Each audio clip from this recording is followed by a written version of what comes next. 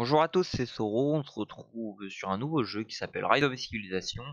Euh, j'ai rien posté sur la chaîne depuis un petit moment maintenant. Hmm, simplement parce que je ne joue plus trop à League of Legends. Euh, j'ai joué sur mobile euh, principalement, car j'ai plus trop le temps de jouer chez moi, à vrai dire. Donc c'est un rythme qui me convient mieux, je dirais, simplement. Voilà, donc je compte et je me suis investi dans ce jeu-là. Je compte faire des vidéos dessus. Euh, vidéos explicatives, vidéos d'aide, simplement. pour la communauté française, j'ai vu que le, on va dire, le marché YouTube ou le contenu YouTube français sur ce jeu est quand même assez peu développé. alors qu'à l'international il l'est beaucoup, donc je pense que ça peut apporter quelque chose pour tout le monde, voilà, simplement. Donc comment ça va s'organiser? Je vais vous faire simplement ouais, voilà, une petite vidéo de présentation. Donc comme j'ai dit, ça fait deux mois que je suis sur ce jeu-là. Sur ce compte-là, ça fait un mois à peu près. J'ai recommencé deux, trois fois. Trois, on va dire deux fois vraiment. et ça, c'est la troisième fois. Ok, donc dans un premier temps, ce qu'on va faire, c'est que je vais essayer j'ai dit bien essayer de vous convaincre à venir jouer à Rise of Civilization plutôt qu'un autre jeu stratégique du genre.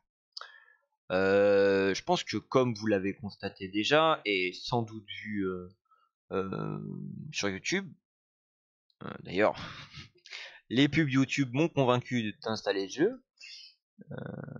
on vous montre bon, différents trailers, mais c'est pas vraiment l'aspect réel. Donc on a un city builder, tout ce qu'il y a plus basique, euh, hôtel de ville, on a nos constructions qui évoluent en fonction des niveaux, euh, nos unités qui sont ici produites donc pour la puissance militaire, les ressources là, là et là. Et il y a beaucoup d'autres aspects qui font que Rise of Civilization est, euh, unique. Dans un premier temps, c'est unique pourquoi? Notamment au niveau des déplacements. on a une carte alors je vais essayer de vous la montrer.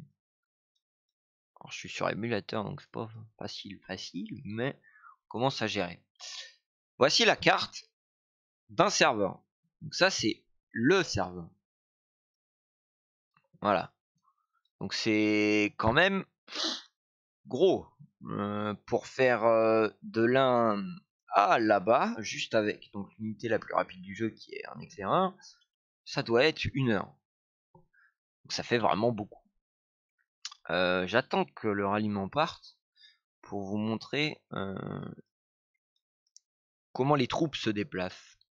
Là on a des ce qu'on appelle des NPC contrôlés par l'ordinateur. Donc c'est nos barbares. Voilà. Donc le ralliement commence à partir. On voit que bah, ça se déplace simplement sur la carte et ça va jusqu'à l'objectif et l'objectif c'est un fort barbare. Donc on est en train de farmer entre guillemets.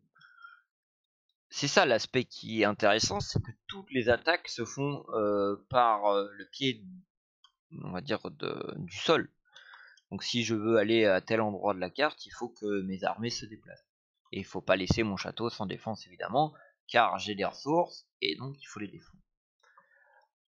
Ça s'organise en alliance, donc chaque alliance veut pouvoir euh, contrôler le temple du milieu qui fait de vous le roi du royaume. Voilà. Euh, donc ça s'organise en, chapitres et on a une avancée historique avec euh, euh, des âges, etc., etc. Voilà. Donc ça en soi, bon, on s'en fout un peu, c'est l'histoire, bref, on n'est pas trop là pour ça, ça dépend pour qui, mais ça c'est l'aspect intéressant. Le deuxième aspect qui je trouve intéressant, c'est les commandants. Les commandants, c'est vraiment ce qui, pour moi, fait que le jeu euh, se démarque euh, des autres.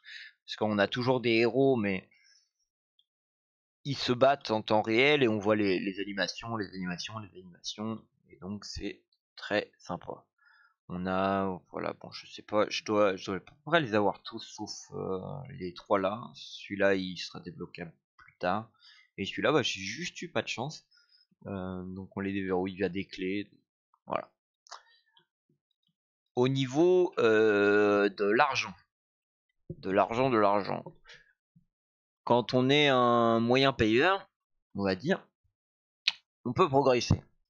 Quand on est un joueur free-to-play, euh, pour pouvoir progresser, il faut savoir déjà jouer.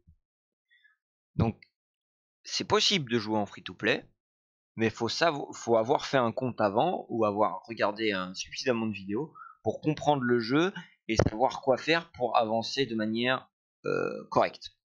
Donc ça, c'est ce que je vais essayer de faire euh, au travers plusieurs vidéos. Boum, je vais essayer de vous apprendre comment jouer en free-to-play ou investir son argent correctement. Il y a des très très gros joueurs qui mettent extrêmement beaucoup d'argent. Euh, mais vraiment beaucoup. je pense que les plus gros, ils doivent mettre 10k euros facile. Vraiment facile. Et, encore, je suis gentil. Voilà, moi j'ai dû mettre depuis le début quand même pas mal. Et c'est ok, j'arrive à peu près à jouer. Enfin bon, ceux qui me connaissent me connaissent. Ok. Donc ça c'est intéressant. Je vais vous montrer rapidement euh, les expéditions pour vous montrer juste l'aspect de déplacement. Et ensuite, ça conclura cette vidéo de présentation qui, je pense, est déjà assez long. Euh, alors, hmm, je vais prendre des trucs avec des animations stylées. Ça vous donnera envie. Je vous achète. Alors, voilà. Hop. Je mets ce monsieur. Je balance l'expédition. Donc le déplacement est simple. Je fais déplacer mon armée comme ça.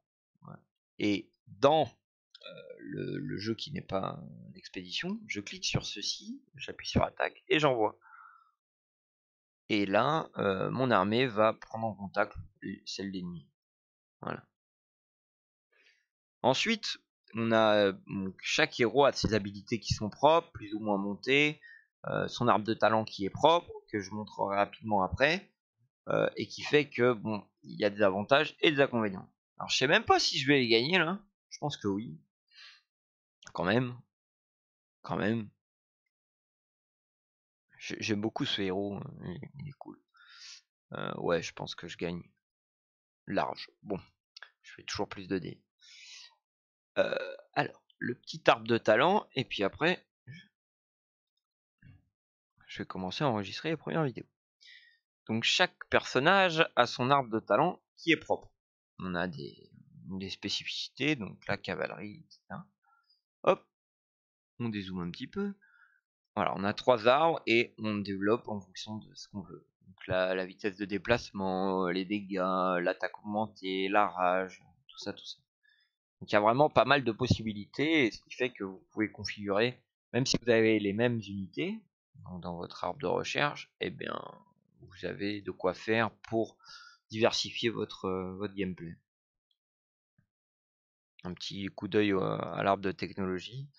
Euh, si vous jouez à civilisation, ou oui, civilisation, c'est, on va dire, quasiment le même principe euh, en temps réel euh, et avec le monde entier. Sauf que la partie durera très longtemps. Les parties de, civilisation, ça doit durer 8 heures. Là, pour finir un royaume, entre guillemets, le finir s'il n'y a pas trop d'ennemis, parce que vous avez des ennemis, vous en avez pour un moment.